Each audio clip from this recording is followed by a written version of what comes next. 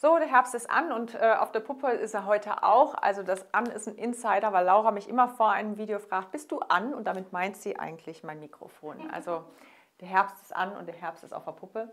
Und heute haben wir ein ganz, ganz schönes Outfit wieder zusammengestellt, ähm, was ich zum einen natürlich genauso nachnähen könnte, zum anderen dir aber auch gerne zeige, denn äh, ich teile ja auch gerne mit euch hier. ähm, der Hosenstoff, ein alter Bekannter, ist der Two-Way Stretch Wool Touch in der Farbe Ockergelb. Insofern sehr bekannt. Ich habe selber mir letztes Jahr eine Hose daraus genäht, ähm, die ich wirklich im Herbst, Winter rauf und runter getragen habe und auch jetzt langsam wieder rausholen werde, denn es passt, finde ich. Und das ist wirklich ja ein sehr, sehr schöner, weicher Stoff. Du kannst da unheimlich schön sowohl Buntfaltenhosen rausnähen als auch weit ähm, weite Hosenbeine damit nähen. Also das funktioniert ebenfalls sehr, sehr gut. Und wir haben den in vielen, vielen schönen Farben. Hier jetzt die Farbe Ocre und ähm, ein Hosenvorschlag dazu, nämlich die Hose Jagner von Schnittmuster Berlin, die unten diesen schönen weiten Bein, diesen schönen weiten Bein, dieses schöne weite Bein hat. So, mir fehlen die Worte. Mir fehlen die Worte, aber was soll's. Also wir haben hier eine ganz, ganz tolle Hosenform, die nämlich oben schmal ist, unten weit. So wollte ich das eigentlich erzählen. Und die die Seitennaht ein bisschen nach vorne verlegt hat und da sind dann in diese Seitennaht die Taschen mit eingearbeitet. Das ist also mal so eine grobe Umschreibung dieses Schnittes, den ich sehr, sehr spannend finde und mir super gut aus diesem Stoff vorstellen könnte. Und dann kommen wir auch zu dem Oberteil denn da ist ein Blusenstoff aus der aktuellen Herbst-Winter-Kollektion auf der Puppe. Und das ist ein Stoff, 98% Viskose und 2% Lurex. Und das Lurex, die 2%, die kommen daher, weil hier so ein hauchdünner goldener Nadelstreifen, so ein Glitzerstreifen durchgezogen ist.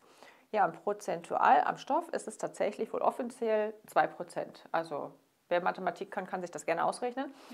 Ich finde, dass dieser Lurik-Streifen natürlich diese Bluse einfach besonders edel macht. Das finde ich sehr, sehr schön. Denn ansonsten haben wir hier halt ein tolles Blumenmuster.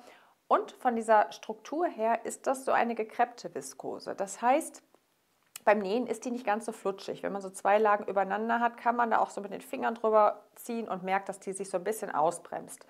Ist beim Nähen immer ganz schön. Beim Schneiden ist es definitiv auch schöner als eine flutschige, flutschige Viskose. Aber trotzdem ähm, ist Viskose ja immer so ein bisschen heikel und manchmal hilft es auch wirklich, die Teile einfach einzeln zuzuschneiden. Also nicht den Ärmel doppelt direkt, sondern einzeln, weil es verzieht sich halt gerne ein wenig. Blusenschnitt.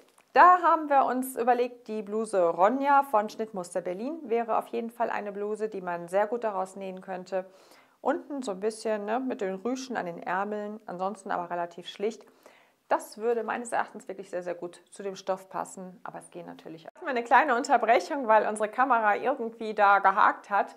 Ich wollte dir natürlich noch was zum Jacken, zur möglichen Strickjacke erzählen, denn die haben wir heute tatsächlich Ton in Ton zum Blusenstoff ähm, ausgesucht. Denn so schön ja farbenfrohe Outfits sind, ich weiß, nicht jeder mag das immer, wenn man so komplett drei unterschiedliche Farben trägt und deswegen halt hier mal schön Ton in Ton. Und das ist wirklich ein ganz, ganz toller Strick. Der hat ähm, hälftig Viskose und ich gucke mal eben auf den Zettel, was sonst noch drin ist. Ein bisschen Polyester noch mit dabei etc. Aber der fühlt sich unheimlich weich an und das ist auch schon so ein bisschen etwas dicker, würde ich mal sagen. Ich lege dir mal so einzeln auf die Hand, da kannst du sehen, glaube ich, dass es tatsächlich so ein bisschen vom Querschnitt dicker ist. Und man fühlt das auch. Also zum einen super weich, zum anderen aber schon so ein bisschen griffiger. Also so ein bisschen herbstlicher. Und aus diesem Strick könntest du natürlich super einen Strickmantel nähen, wie den hier von Kibadu, den Basic-Strickmantel. Entweder mit Kapuze oder ohne, ganz so wie du es magst. Ich meine, wenn man natürlich darunter eine Bluse trägt, die hier oben so einen Kragen hat, dann sieht das manchmal schöner aus, wenn man keine Kapuze an der Strickjacke hat. Aber das hängt immer davon ab, ja, wie du das, das Outfit kombinierst. Und das ist ja auch wirklich nur eine Inspiration. Und letztendlich setzt du das so um, wie du das für dich gerne hättest. Ich hoffe zumindest. Und jetzt wünsche ich dir einen schönen Tag. Bis dahin.